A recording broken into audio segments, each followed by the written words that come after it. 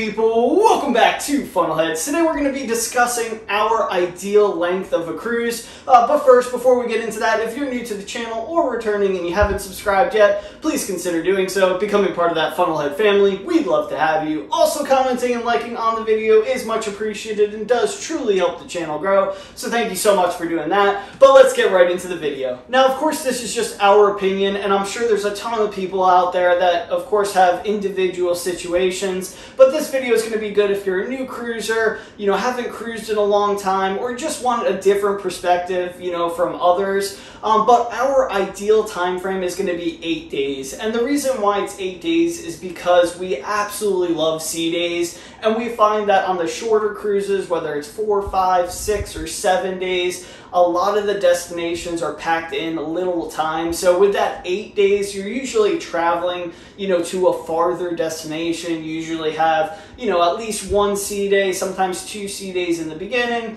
or you may have one or two sea days at the end as well. And we absolutely love those days just to kind of relax because that's all, you know, what cruising is about, what vacation is about. You know, you want to have fun. You're going to be tired eventually, but, you know, you do at the end of the day, you want to relax, hopefully recharge some of those batteries after working so many long hours and waiting, you know, to have so much fun. Now, our next favorite length cruise is going to be, you know, the short cruise, like four or five days. And the only reason uh, for this is because we live in South Carolina.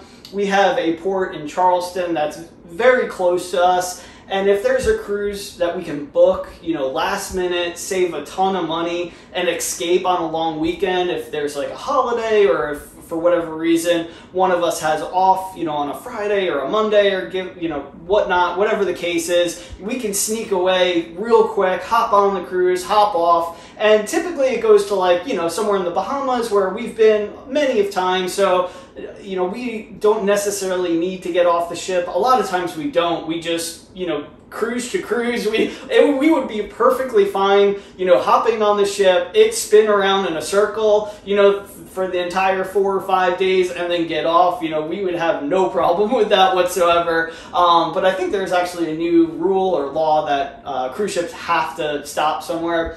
I'm not sure if that if I just made that up or if that's an actual thing. So let me know if you heard that as well. Um, but yeah, this is that's the reason why those two specifically are our favorite. Of course, you know with the more time that we get, you know, in the future, uh, as far as like vacations and days off, we're really looking into, into the much longer cruises, those 10, 12, 14 days. Honestly, we could probably live on a cruise ship and be perfectly fine. I mean, honestly, you know, the lifestyle is going to be totally different than, you know, going on a cruise for seven or eight days and, you know, living it up, having as much fun as you can. Um, different from obviously staying there full time uh, and having like a normal schedule, but we absolutely could live on a cruise, uh, and hopefully one day we will. You know, once we get to that por- portion of life. But for now, we're just going to take as many cruises as possible and worry about the rest later. But let me know in the comment section below what is your favorite duration of a cruise.